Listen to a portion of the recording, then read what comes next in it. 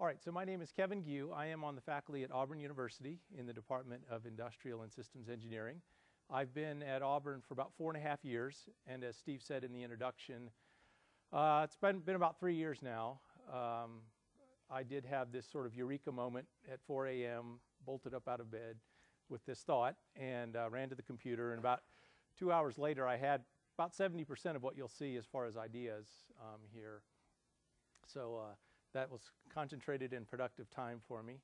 Um, anyway, what came out of that has been a body of research that I'm pursuing with my colleague Russ Meller at the University of Arkansas. Um, we've been working on this now for a couple few years and we're continuing to push on the theoretical side. I'll show you some of that tonight. Um, we've done a, a, good bit beyond what I'm going to show you tonight. I want to stay a little bit focused and just show you sort of the things that led up to the two implementations and so I'm going to give you a background of maybe 15 or 20 minutes on what the idea is and why it might work or be suitable for your company.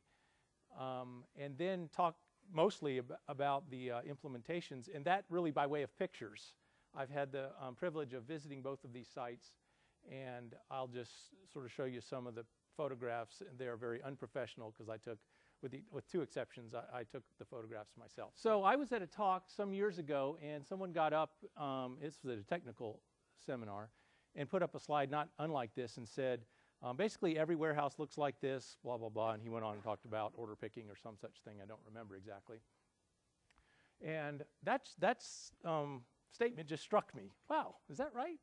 And I actually asked my colleague, Russ, who was next to me in the audience, uh, I said, is it true? Every warehouse looks like that? And he sort of said, yeah, I think so. And then uh, two months later, I had this sort of uh, thought in the middle of the night. So, um, and I've, I've given this talk to probably three or 400 people from industry over the last few years.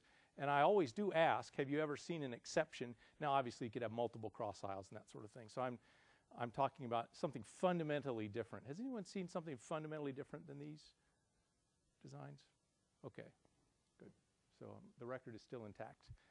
Um, so anyway, well, the, the idea behind the research was why does it have to be straight was the question I actually woke up with, referring actually to this, this cross aisle here. Now I want to uh, state my conditions tonight. Number one is I'm talking about unit load warehouses, where I'm going to go into the warehouse, pick a pallet, and bring it back. So I'm not going to do order picking or carton picking, where I would visit multiple locations. That's a very important problem. It's a very interesting problem. Some of you may have that problem. Uh, it's also a very difficult problem, uh, one that I, I don't really have any special insights for you. I, I, could talk to you after the seminar and give you what intuition I have on that problem. Uh, by that problem, I mean the design of aisles that would do well for this kind of an operation.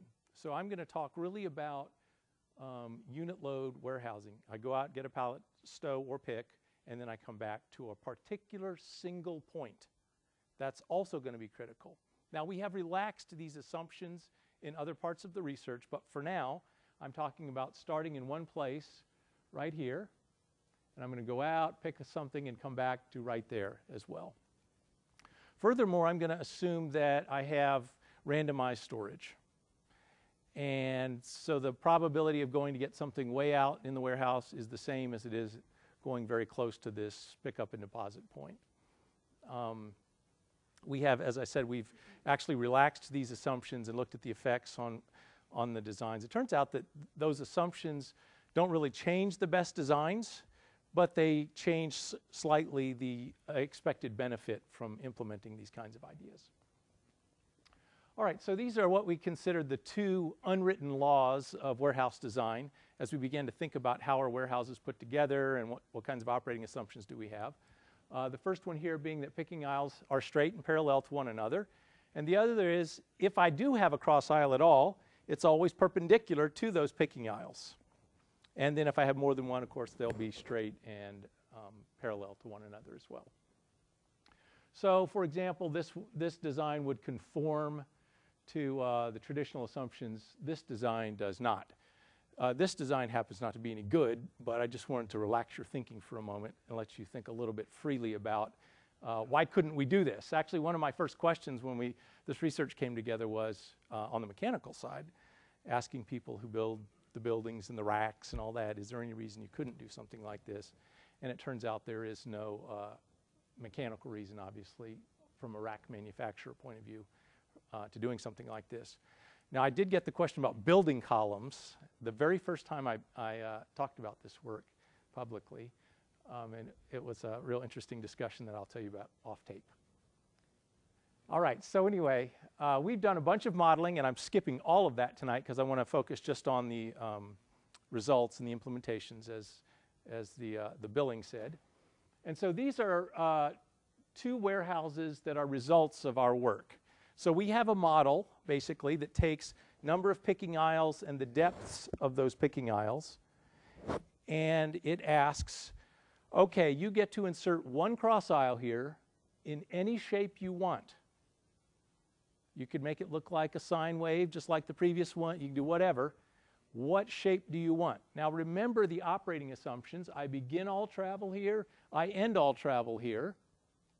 I go up into the warehouse space and then I come back. And these are the results of a, this is 21 aisles, 100 pallets deep. This is, um, I think, 41 aisles. We choose odd numbers so that the right and left halves are, are equivalent. And uh, 50 pallets deep here. So you note the structure. We call this the flying V, hopefully for obvious reasons. This was early on called the gull wing, but we didn't like the association with trash. So we gave up on that terminology. We now call this the flying V. Um, these are not building columns here in the middle. Those are actually the, the decision variables of our model. It decides where does this cross aisle intersect each picking aisle. And so these are just the results of the model. So the warehouse would look like these without the black dots, obviously. Are there any questions about the, the assumptions and that sort of thing? I don't want to just blow through this and you didn't really understand what in the world I was talking about as far as the problem that I'm trying to address and why these make sense or not. Any questions about that? Yes, sir. That's correct. That, that's correct. Yeah, it turns out, obviously, if you have this kind of operation and you're, uh, well, under certain assumptions, you would want to do that, store your faster movers in this area here. If you do that, it turns out that this is still a good design. It's still better than the normal, except the expected benefit is reduced slightly. Uh, now you do, if you were to collapse this aisle and just make it a traditional design without a cross aisle, um, obviously you'd consume less space. So there's a trade-off here. You're, you're actually making the warehouse slightly larger because I had to insert the cross aisle, and that's uh, 3 to 5%, depending on how, how many pallets deep the warehouse is itself. So you are sacrificing a little bit of storage space up front hopefully to gain the benefit of an operating cost advantage over the long haul. And that's one of the trade-offs that's important to keep in mind. So there are warehouses for which this makes no sense. If you very rarely go in there, pardon me? You mean of lost space? Well, um, if you've got about a 12 foot aisle here, let's say, then that's roughly three pallets worth. And if it's 100 pallets deep, then that's three out of 100 you lost. I mean, that's just sort of a ballpark. Oh, yes, uh, productivity gains I'm about to get to. Yep. So, any, any other questions about this and just what it means?